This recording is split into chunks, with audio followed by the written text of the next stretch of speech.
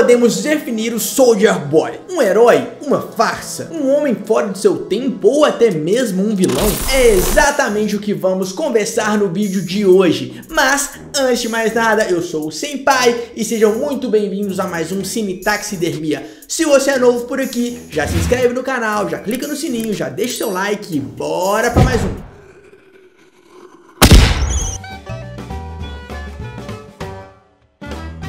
Em busca de uma arma para derrotar o temido Homelander, os rebeldes de The Boys invadem um laboratório russo e acabam acidentalmente libertando Soldier Boy, que servia como rato de laboratório há décadas para esse governo, e com seu retorno à sociedade quebrou completamente o mundo dos heróis, colocando em risco a soberania do maior de todos eles, Homelander. Mas nós precisamos recapitular essa história, porque a influência de Soldier Boy para esse universo começa muito, mas muito antes disso. A Segunda Guerra Mundial trouxe danos irreparáveis para o mundo inteiro. Para um dos países mais presentes nela, os Estados Unidos, o impacto obviamente não seria diferente. Soldier Boy foi criado no intuito de amenizar essa realidade tão sombria, oferecendo ao povo americano não apenas um herói que representasse todos os ideais do país, mas também uma máquina propagandista de guerra que acentuasse a superioridade do seu povo perante o mundo inteiro. O melhor termo que podemos utilizar para exemplificar o seu símbolo para o seu povo é o All American, que não existe uma tradução literal, mas seria algo como todo americano ou americano por completo, que significa aquele que carrega todos os ideais, como integridade, força, mas principalmente está relacionado a ser bem-sucedido. Esse termo, inclusive, tem uma extensão nos esportes. Na Liga Americana de Wrestling, por exemplo, os seis melhores colocados recebem a honra de se tornar os All American. O único problema disso tudo é que essa imagem é uma completa fraude. Soldier Boy, assim como todos os outros heróis de sua geração ou não, não representavam nada que sua imagem ao público representava. Remember, real heroes don't use drugs. If taking drugs is uncool, I'm the most uncool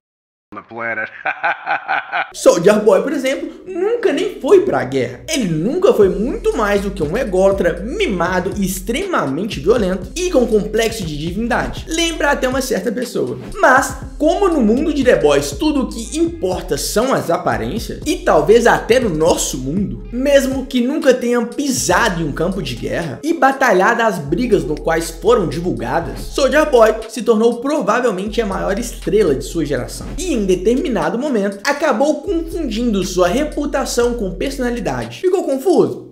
Vou deixar mais claro, pequeno padawan. Seu status social acabou fazendo com que ele acabasse cheio de pessoas ao seu redor, que falsamente o adoravam. Inclusive seus próprios colegas de grupo, que o apoiavam em todas as suas escolhas, por mais esdrúxulas que fossem. Mas secretamente o odiavam também. E como não odiar Soldier Boy? O arco que melhor representa o quão odiosa era sua personalidade é o do Noir, que embora fosse vendido como um ninja silencioso, tinha a ambição de conquistar mais, querendo inclusive o papel principal do filme Um Tira da Pesada, que na vida real foi protagonizado pelo Ed Murphy. E o que o nosso grande Soldier Boy faz, além de não deixar ele ficar com o papel, ainda desce a porrada nele na frente de todo mundo, deixando claro para qualquer um que se tentassem aumentar a sua popularidade, teriam o mesmo destino. Claro, por puro e simples egoísmo. Inclusive, existe um detalhe bem interessante na narrativa desse ar, onde nós vemos Noir representar o seu passado por vários cartoons, e aquele que o representa é uma ovelha, usualmente relacionada a um animal fraco que é o completo oposto do Noir, mas é assim com que Soldier Boy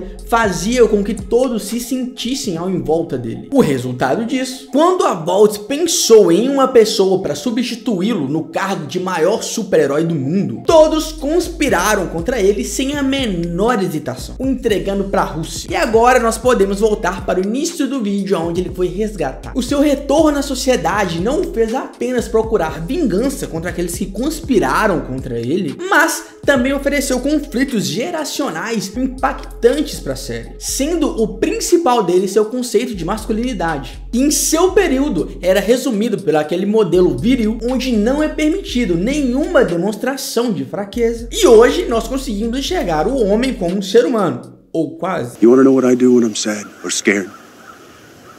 Nothing. E isso fica evidente em alguns momentos, como quando se recusa a aceitar que sofre de um caso grave de estresse por conta das experiências sofridas na Rússia, mas isso faz literalmente com que ele exploda. Mas o aspecto mais interessante que ocorre nesse choque geracional é em sua relação com Homelander, que inicialmente atinge o seu ego, pois ele representa basicamente a sua nova versão, e como o próprio Soldier Boy afirma, No one's the new me, pal. e essa relação toma traços ainda mais dramáticos quando o parentesco entre esses dois personagens vem à tona. Homelander basicamente era filho de Soldier Boy, o que desperta um dos seus poucos traços ainda humanos, que é o seu trauma paterno e como ele gostaria de ter oferecido uma criação melhor para seu filho. Conversando, é claro, com essa constante ideia de superioridade. Mas seu lado humano fica apenas exposto por algo negativo, que é o seu desapontamento com o Homelander e como ele se entristece em ver em seu próprio sangue todos os conceitos de masculinidade atual que ele tanto despreza. Weak?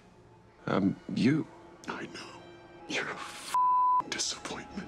a necessidade constante de atenção, a carência e tudo isso já dito sobre o Homelander. Caso você tenha interesse, a gente fez um vídeo exclusivo sobre ele, você encontra por algum local aqui. Soldier Boy é sem sombra de dúvidas um psicopata.